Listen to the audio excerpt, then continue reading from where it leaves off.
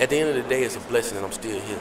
I'm still creative, that I still can come up with content and subject matter that people, you know, really can't touch on nowadays. And at the same time, to know that I built my foundation from the ground up, that it wasn't overnight, it wasn't a gang of vouchers, it wasn't a lot of money that went into marketing me. No, you know what I'm saying? It was music. It was people that had to get to the street. It was people that wanted to spread the word about what I was rapping about, about the content. And at the end of the day, I was always gonna keep it 100. And I did that with Live from the Underground.